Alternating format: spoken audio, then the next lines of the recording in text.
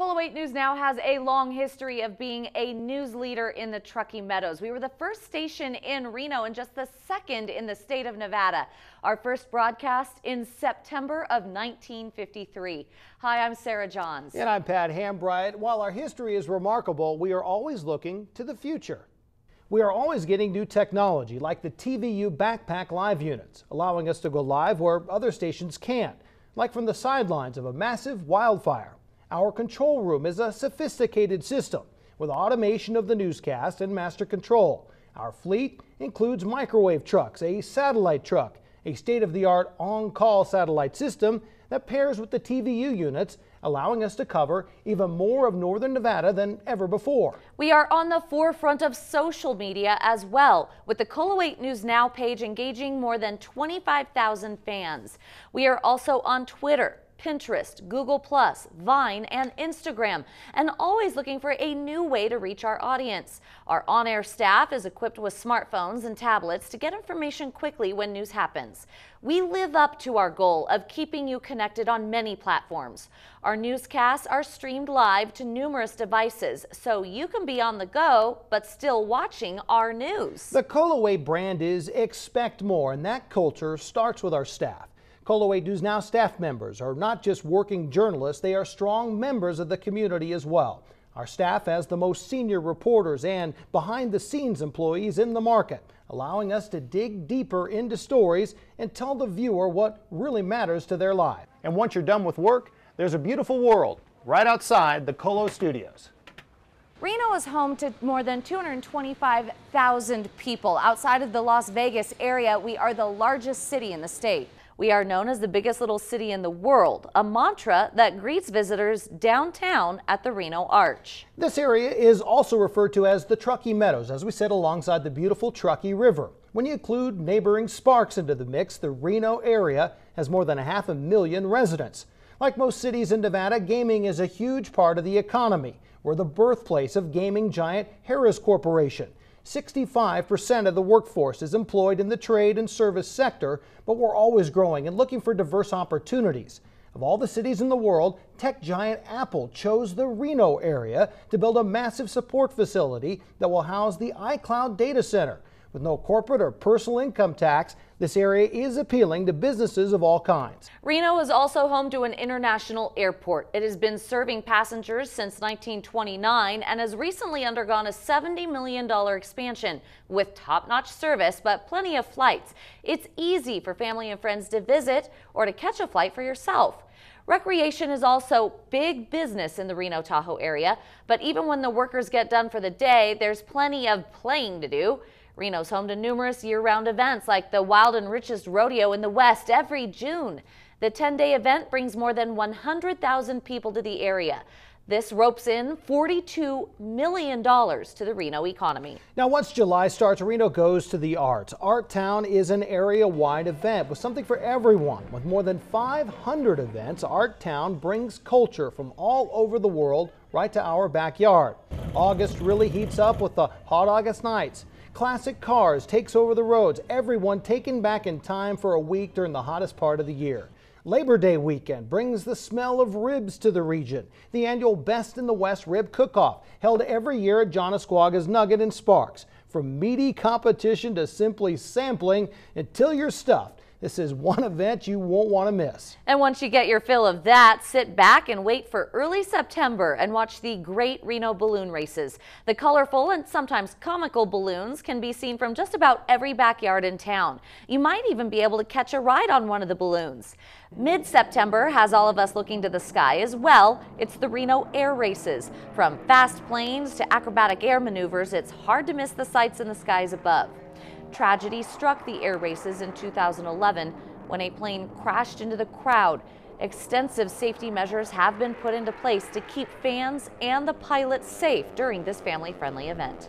In October, we celebrate Nevada Day. It is the largest statehood celebration in the nation. Nevada became a state on October 31st of 1864, but the Nevada Day Party is held the last Friday of October. In 2014, we celebrate our sesquicentennial, which means 150 years of statehood, but we just call it NV 150 to make it easy. This is just a sampling of some of the many events hosted in the area. When you live here, you get to explore them all. But sometimes you just want to get away. That's another reason Reno is amazing. With Lake Tahoe less than an hour's drive away, it brings the crowds any time of the year. In the wintertime, the Tahoe region is home to some of the best resorts in the world, like Squaw Valley, host of the 1960 Winter Games, and if all goes well, the 2022 ones as well. With 18 ski and snowboard resorts to choose from, that's enough fresh powder for everyone. Once the skis are put up, you can snowshoe, hike, bike, whatever you prefer. The Tahoe Rim Trail circles the majestic lake, giving hikers of all levels a chance to experience the Tahoe scenery on foot. And in the summer, the snow might be gone from the mountains, but the outdoor enthusiasts are still there. Lake Tahoe is the second deepest lake in the United States, voted the best lake in 2013 by USA Today.